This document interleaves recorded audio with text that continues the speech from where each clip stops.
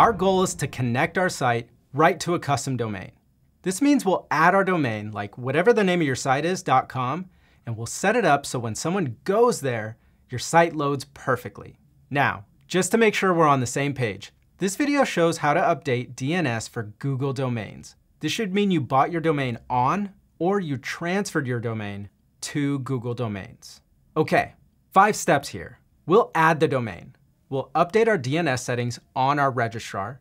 We'll set the default version of our site. We'll set it to www. We'll verify it's working, and then we'll publish our site for the world to see. Let's start with adding. If we go to our project settings, let's head over to the right tab. Depending on the kind of workspace you have, it'll either say publishing or hosting. They both do the same thing. Once we're there, we can see that we can add a custom domain. If you don't see it at the top here, that's okay. You might want to scroll down depending on how your workspace looks. All we have to do, type in that custom domain and add domain. By the way, what we're typing in, DellinghamDesign.com, it's fictional. We're using it as a stand-in, as an example. You should replace it with whatever custom domain you're using on yours. That's adding our domain. Now we have to tell our domain provider to point to this site. So when someone visits whatever the name of your site is.com, it actually serves up our site to them. Okay, in Google Domains, we're in our dashboard. Here we can see a list of our domains, so we'll select Manage next to the domain we're looking to connect. From here, we can select DNS on the left side navigation. And once we're here, we see we have our records. A quick note here. This may look different for you, Maybe you already have existing records in your DNS settings. We're about to add ours from Webflow in a second. But we first have to remove any conflicting records. DNS settings should always be backed up. So make sure to take a screenshot or another way of notating all these settings before making changes, just in case you have to revert. Now, before we add records, let's do a quick check to make sure of three things.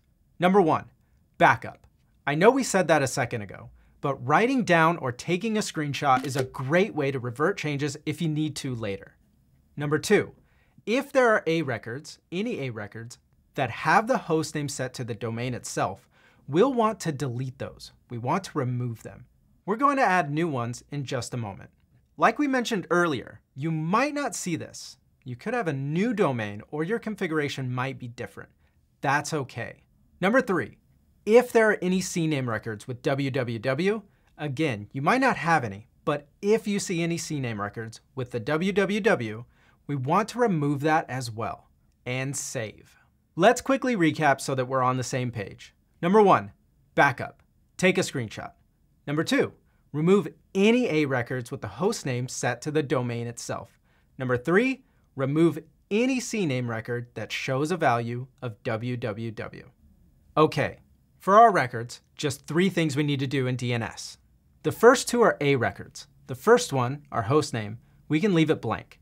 We can leave the hostname as is. Google will set the hostname as our domain name itself by default. For type, we can choose A from the dropdown. It's an A record.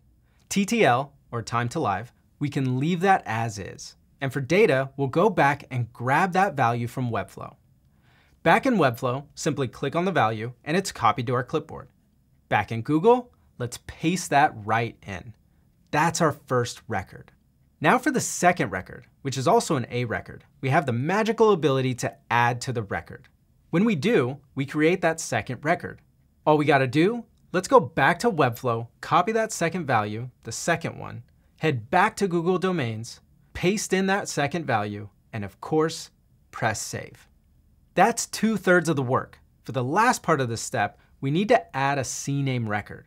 Back in our records, we can select Manage Custom Records, then create New Record.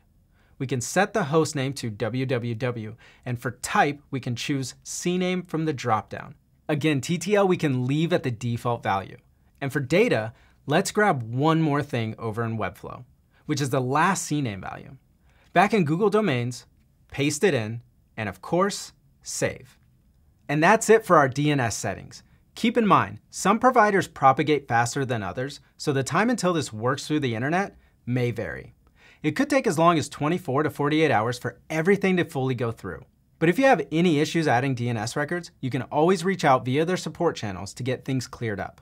That's the most complex part. Should be smooth sailing from here. Let's move on to our default domain in Webflow. We're back in Webflow under the Hosting or Publishing tab.